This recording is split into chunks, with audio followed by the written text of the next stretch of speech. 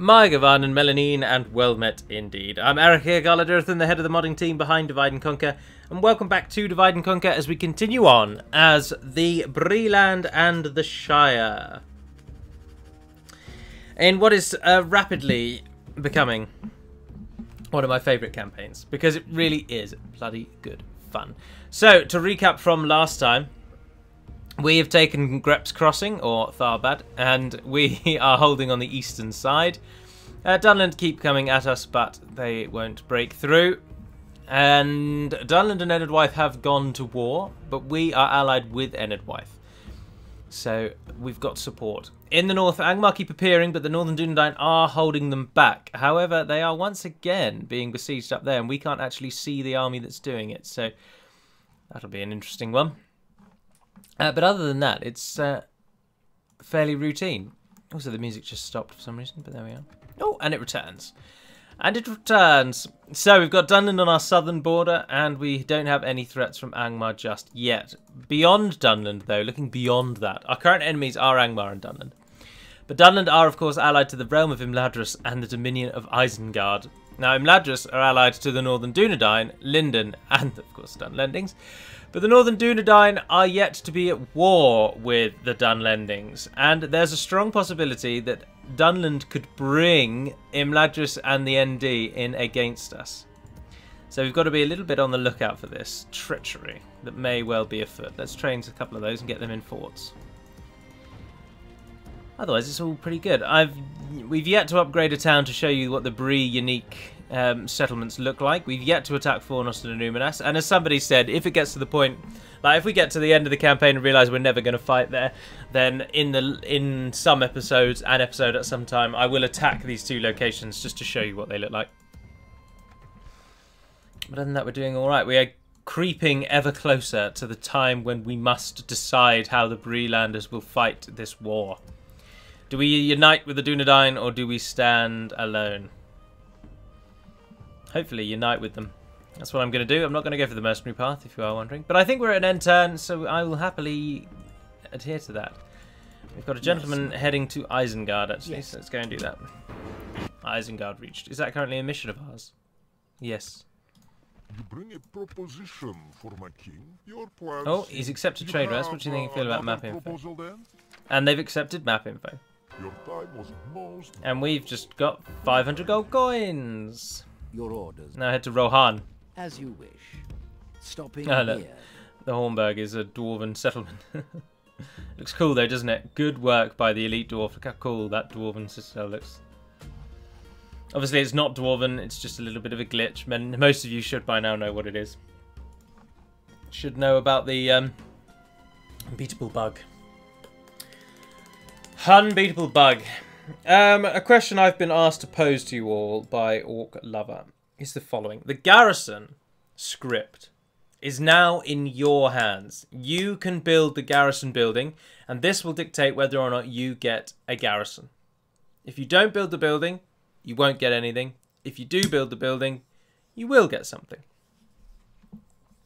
And I think our turn times have slowed down as well, unfortunately. They've gone away from the fast turns and into the realms of slow turns.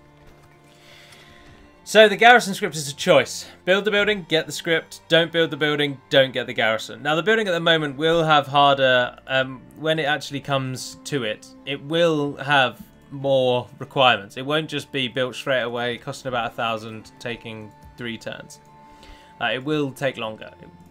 And it, there'll be requirements, most likely building requirements, that locking it out. Yes. However, um, the AI cannot anticipate that you will have the garrison units, so they will never attack with an army designed to take down your garrison troops, because of course they can't see them. So they won't anticipate that they will be there. However, it does only add one unit at the first level and two units at the second level. How long have we got on that? Nine turns.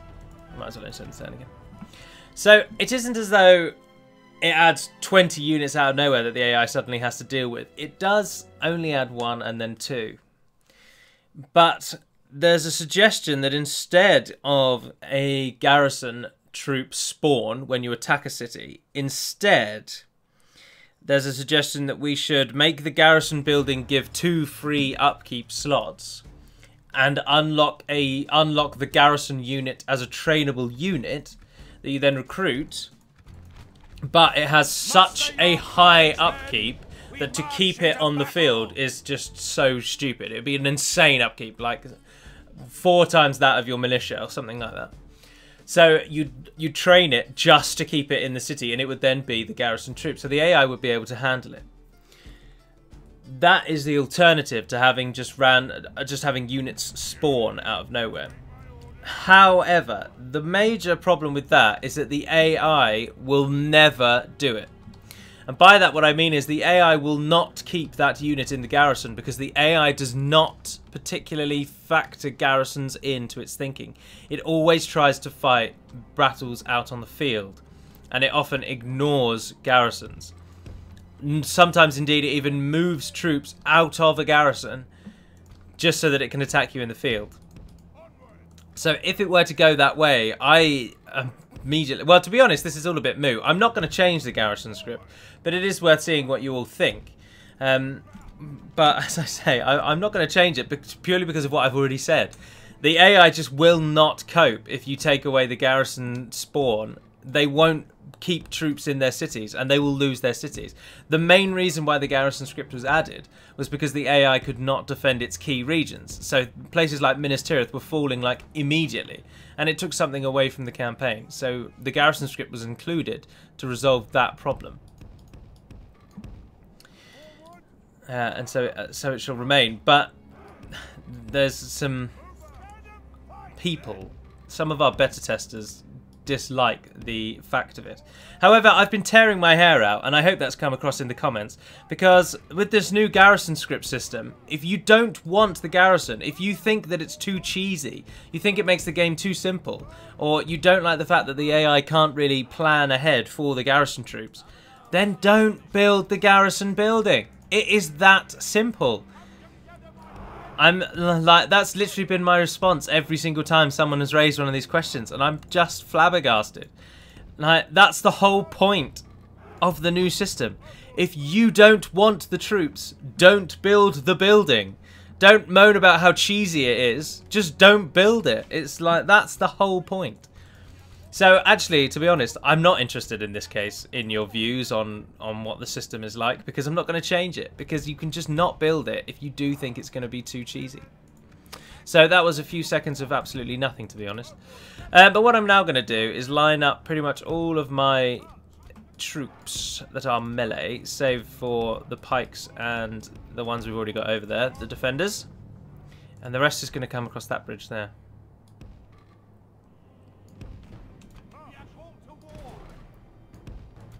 We are called to war.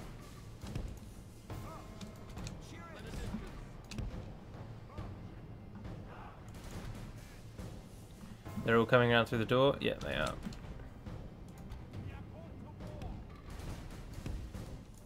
Pause it. Get you guys in there as well. Bandits sort of flank even more around. Take the other bandits with you. And the lumbermen. Everybody move.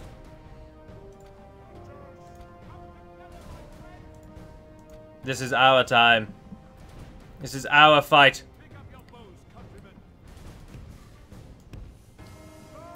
They may well have to fight. If the enemy tries to push through again, they may well have to fight. Abby, you'll be very pleased to hear that Racer has made leaps and bounds with the Khand script, and it is now in a serviceable position. Um, there's an awful lot still to do about it. If the beta testers are, are listening, like we don't do absolutely everything required and then say like, oh, this is now done, test it.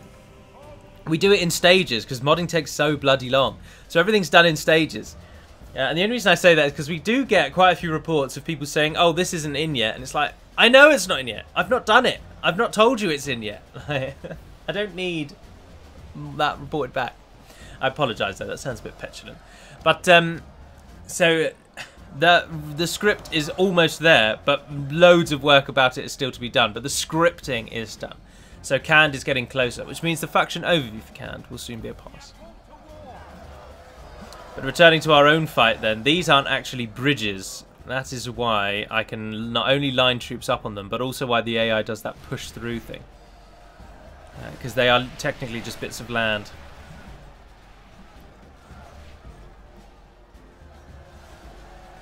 And as last time, they are just coming straight through. So, in we go. Although this side, I want them to kind of come in a bit more before you uh, actually hit them. Brigands! Brigands! I haven't edited these in this version, have I? No. They're still as weak as they've always been. Breeland militia hitting in from the side. Where are the 45 of them? You guys get in as well. Lumbermen, you guys go in. In you come from the back. What are you doing?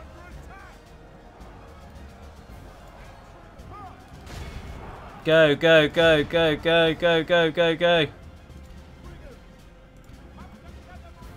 The defenders are holding them. Why aren't you moving? There we are, we've hit them. Our defender, defenders are really defending well. Our archers no longer attacking there because they have nothing to attack. But the enemy is getting slaughtered in that gap. Another successful victory for the men of the Breeland. Although, with us pushing in from behind as well, we're only helping the, the mass out, to be honest.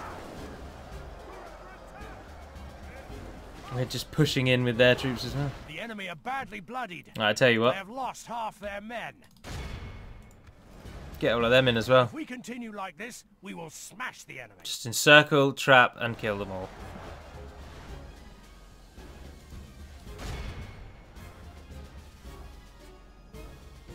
Get our bodyguard involved. I believe that's all of them. 97%. I'm surprised they haven't run. The enemy's general. Behold And it's over. the enemy are 197 utterly vanquished. 1052. This is a great victory, worthy of only the mightiest of generals. Farmhand Pikeman taking the top slot. Would you believe it? Farmhand bloody Pikeman.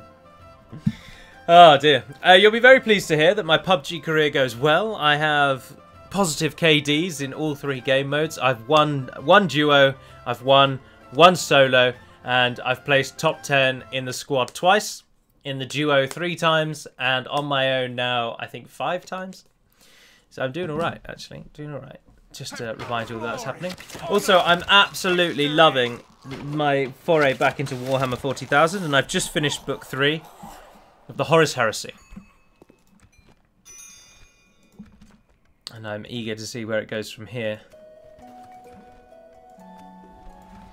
But returning to Lord of the Rings, Your orders. our successes go well. Oh, and Bregost is available to us, and then this army will mm, possibly. We might be allowed to cross at Siduri, actually. Do we have um, movement rights with Enedwaith? I don't know if we do. Ah, you can get Greenway. Yes, please. Can you have only three units of free upkeep? Two units from that. One unit from that. Yeah. I'll take a f- port from you.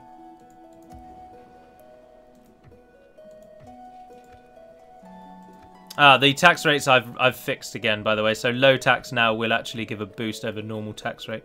So that's all been resolved. Orders.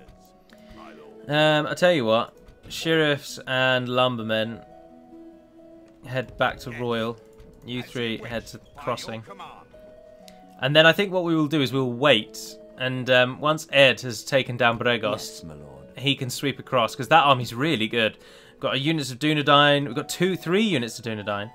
We've got Greenway men at arms. There's some dwarves in there. There's mercenary mil- merchant militia. One of my, I really like that unit because it's absolutely abysmal. The unit is awful. Poor morale, poor morale response. They don't even have good stamina. Their attack's only four. Their charge is only three, but they have 15 total defense because they're one of the most visually heavy armored units in the game. And so I wanted to reflect that they are basically they've bought gear that they think is going to protect them, even though they're just they can't like use it for love nor money. And so that's reflected in their um, high defensive stat, but poor everything else. And I, I like that angle. I like that aspect of them. Uh, someone in the comments did say I should send Ed north because we're going to have to deal with Angmar sooner or later. But I don't think we will have to deal with Angmar just yet. What we can quite easily do, though, given that bribery is no longer a thing, is if you hold down the Alt key and click to a location, which will be this point here. Same for you. Same for you. Same for Deep Hallow. Sackville. Then all of those places will now train their troops to walk to that point.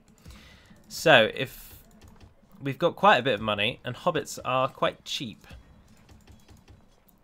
Upkeep wise, 180, 215, 120, 105. Very cheap. So let's build a little army of hobbits. Oh, you can get Dunedain. Well, we'll have a, an army of hobbits and uh, one unit at a time. Oh my god, Sackville. Oh my god. Uh, can we get the tax rate here? Is that like very high and they'll still like us? Yes. There is an upper limit. So a population of a village will never go above a certain number. I don't know what that number is because I can't remember. But there's a, there's a point where it will reach it will reach a point whereupon it will then never get any larger.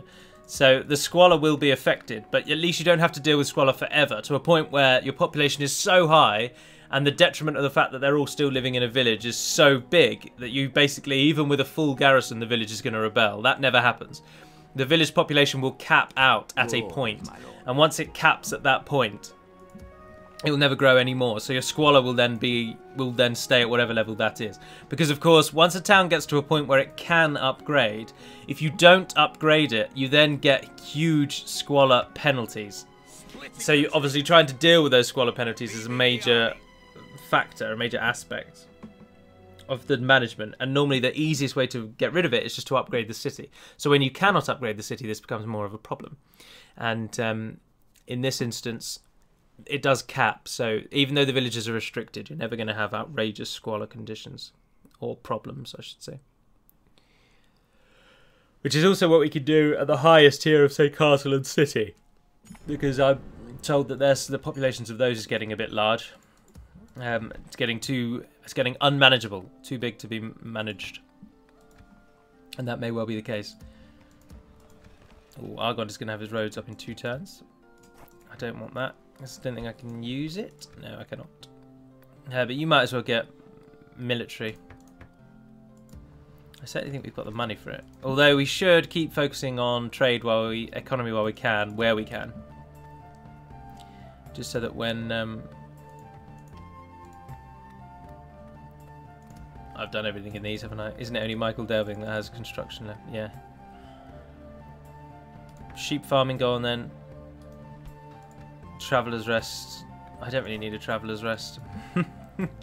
Built it and then immediately turned away. Oh, there's Chieftain Aragorn, the chivalrous. I'm training a general here. Take the Greenway with you to go and be the you the commander of the army over here. That's a bloody shame that uh, Sackville can train one at a time because it gets three. It gets all fort units, all Hobbit units, and Dunedain. I'd like the Hobbit army to be led by hobbits, but um, I don't. The hobbits, if they stay in the towns, they become. They keep the money here really high. I mean, look at that. Those five, those four villages and one town are making an obscene amount of money. 2,500, 3,000, 450. Uh, no, sorry. 2,500, 3,500, 5,000, near just shy of 6,000. Probably 6,000 with all the minor numbers as well. From four villages and a town. 6,000. That's crazy. We're very wealthy. Oh, and that's the other thing I've not shown you, is Bree actually starts with great roads built already, which is something the Breelanders can then not build. Um, unless possibly when you side with the Dunedain you can. And the that's fixed in later versions as well, that Garrison Hall bug there, which I've said before, so I shouldn't say it again. But uh, the highest tier of road, Great Roads, which is now available to kind of Numenorian descendants, I think if Bree side with the Dunedain, you do get that. But don't quote me on that, because I can't remember. You can retrain. Ed! Oh, how? What? I was one turn away, and they didn't... Oh, they must have moved back in their turn. Your orders, my lord. The question is, am I going to be able to cross there? No, I'm not. Not without Captain Malfin moving, which he won't. So, we're heading to Dunland. Yes. We shall continue tomorrow. But Argon's building, so in two turns, you'll be able to get through that province quicker. Why is there not a road along there like that? Why? Why does it go up, along, and down? It's madness. It should follow the coast. There's all of our Hobbit units moving into position. Um, I should say that I, at the moment, whilst playing this game, I'm absolutely covered in paint. I've been spent the afternoon painting a shop, uh, a charity in in in Luton actually, and um, they've got a shop now, and we volunteered to help paint it, and I'm now I'm literally head to toe covered in paint. Curious sensation. Uh, there we are. There we are. Fosco. I'm sure you tried to adopt a moment ago. Ah, yes, please. Getting sheriff skills are all over the place. Crivet, yep. Next building. Nernaled. What's good here? Mm, smoking house, go on then. Grep's got a town guard. I'll take a leather town. Oh no, because you'll be cheaper once the Mason's Hall's built, so we'll worry about that on the next turn. Can you even retrain there? No, not properly. Um. I tell you what, Sackville's going to take so long to train its unit that why don't those watch sheriffs head north and get retrained, and then we've got an elite army. So return to Hobbiton where you can be retrained. You eight guys, can you train? No. Does Bree train them? Yes. You guys return to Bree, where you'll be retrained. And now I'll take you back across and take you across to As there. do with more upkeep. Why is why have we only got? Oh, we've got we've only got two, and two's already taken up. Yeah, we need that one for three, and then one more above it for four. Fourteen turns. Only fourteen turns until the next available unit. Your general will be with you in a moment. One turn away. Oh, and they can be retrained now. End the turn. Merging armies, my lord. As Ed makes his way across.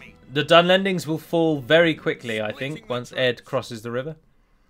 He's got a formidable army. The Dunlendings have been beaten and haggard. Leading the army. But then the Dunlendings might actually be beating Enedwaith because Isengard is with them. That's the problem, actually. We haven't got. No, we have got quite updated information, haven't we? So the Enedwythian capital is still held by them. Dunland have taken Barad-Vin, or whatever it's called. Is it Barad-Vin? The, the castle south of the Gwathlo River. Oh, yeah, the turns have definitely slowed down. They're taking ages. Always a bloody way, isn't it? Orders. Your will, my lord. Oh dear, As you orders. I misclicked. Fortunately, he didn't get ambushed. As you wish. Orders. By your command, my lord. Was that your best shot? He didn't feel like he had it in him. Your orders, my lord. And our roads are built, Yes, my lord. speeding up our time With honour. slightly, not massively. Enedwaith trying to. ta- it is Barradvin. Enedwaith taking it back. I really just want to cross into Dunland to show you the new battle maps because I think they look awesome. Um, yeah, while you've got the money, get a Master Masons, make it all cheaper again because you're one of our biggest cities. In fact, I think you are our biggest city. You're even bigger than Bree, yeah. Do you get two free upkeep here? Oh, you will do. Unit of them then, please. Orders. Continue to assign As locations. wish. Lord. Yes. And there's our General, orders, Cliff. General Cliff. Take the Woodland Hunters with you, they've just retrained. Go and sit in that fort. That should give us a bit more money. Angmar still sort of, ooh, Overlord Agendower on his own. See, this is what I mean. The, not what I mean. This mean I mean nothing to you. But one of the biggest reasons why people said that the garrison script shouldn't be the way it is currently is because the AI, because it doesn't understand that there's going to be an extra unit, it attacks you in dribs and drabs.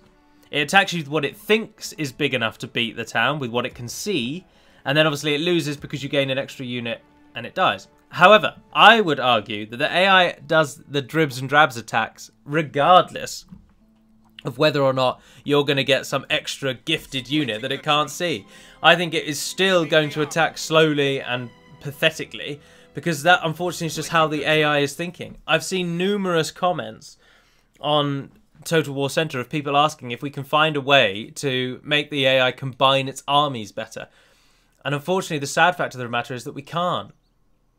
We just can't. The AI will always do that stupid thing where it sends lots of little armies rather than grouping them into one big army. And I don't know how to make them see that that's folly. I don't know what the solution here is. So that's Yes, something that's just going to stay, I'm afraid. With honor, we can go no further, my lord. Oh, Chieftain Fosco is their faction heir. Um, you might as well get a blacksmith's Got the money for it. Slightly different buildings. Traveller's Rest a bit more of an inn. The inn is a bit more of. Those doors are very disproportionately sized. oh well. Oh well. Ah, what are we doing? We built a, a building. So, oh no, that was that one, wasn't it? Once you've built that one, I'm not sure we'll have enough for the last one, but we've got a lot of money. We really have. We're making excellent money. Orders. By your command, my lord. We are well concealed from the enemy. As you wish. Orders. My lord. Your will, my lord. As our Hobbit army assembles, armies, with some Dunedain leading them. By your command. The first full army of the Shire. Shire Battalion 1, we shall call them. or, I don't know, 1st Battalion Shire Regiment. no, that's that's far too realistic. What would they name themselves? Your orders, my lord. I don't yes, know. my lord. We can go no Something further, vain. I imagine. At the Shire's finest. Right, once Ed crosses the river, Lord, we'll take my lord. Grep, who is still alive, and we will push south with two armies, two armies of overwhelming power, and we will watch as the Dunlendings fall before us. However, that's very likely to be in the next episode. Next, next, the next episode there. I am really thoroughly enjoying both of the current campaigns. Rune, I'm really in. I like that campaign. I'm looking forward to getting our golden elites. And Bree is just so much fun. It is so much fun. But I am planning a reforged game soon. Now, what I'm going to do is not record it live because it puts way too much pressure on time, on timings of when it's recorded, of like of ensuring that the video everything goes smoothly. Whereas if you do it from a replay, you can get it all, you can work all the kinks out. So it will not be live, but it will be a reforged video, which I do plan to do. I've got my people assembled. But this weekend, there's a very strong possibility that it will be a Warhammer 40,000 Dawn of War Soulstorm Titanium Wars mod video because we've been playing it a lot and I'm really into it at the moment. Uh, also, to Brassadas and Brassadas alone, I am probably never going to feature an Age of Empires video that does not have me in it. Because we're not a predominantly Age of Empires heavy channel. And I don't think, well, all of you listening can part can join in, but I don't think you'd all be that interested to see me talk about people you don't know playing Age of Empires. Because I'm not a, I'm not like a commentary channel. I'm a Honor. me playing the game kind of channel. And I think that it would Yes, my lord. I don't think people would really be all that interested if it was four randomers or eight randomers or however many randomers it was playing. So I would welcome your feedback on that because I've been sent a couple of Age of Empires games that have been recorded in our Discord group, the Order of the Swan. So they've been recorded by people I know, and I've watched the games. They're entertaining. I haven't watched the one that Brassas has recently sent me, but I've watched them in the past, and they're all very entertaining. But of course, I'm not in them, and I'd be interested to see what you all, if you all think that that would still be something you'd want to see, or whether or not a key feature would be that I would need to be in them. lord. March to orders. We can go your will, my lord. Orders. By your. You've probably got a higher upkeep even though, but still, this is such a cheap army, such a cheap army. It's basically already built, and we're not losing any money. Uh, so do let me know about that because then I can do a bank of Age of Empires videos. But as I say, I just wouldn't be in them. I haven't played Age of Empires for some time, much to the uh, disappointment of the Age of Empires following in the order. Uh, But I'm a I'm a bin I'm a sort of a I'm a game floater. I will play a game for a few months almost religiously, then I'll move on to the next one and play that, and then the next one and play that. Whereas some people will play one game continuously almost forever. And I've just never been one of those. I've never been like that. Which is, I suppose, why MMOs, I'm so flitty with MMOs, because they require a massive amount of dedication, and a dedication that I can't really give them. So, I haven't even got a Mason tool in Royal Tharbad. But Grep's Crossing's held. Now, we'll never be able to upgrade these because we are Bree, so they will be ruins forever. But that's natural, of course. Why would Bree know how to repair and maintain Numenorian architecture when our main capital city is made out of wood? It's just not something we'd be down with. But anyway, I think I'm going to end it there. In my mind, it's been a bit of an eh episode. I was hoping for some more battles, but none came, and I'm disappointed that the turns seem slower. But then they may not actually be that slow. It could be a consequence of the new scripts, the new Garrison script. I don't know. Either way, that will conclude today, and I've thoroughly enjoyed it. No matter how eh I thought it was, I've had a, I've had fun. It's been an enjoyable afternoon. So until we speak again, dear friends, Navarre den Pedamad Melonin, and farewell.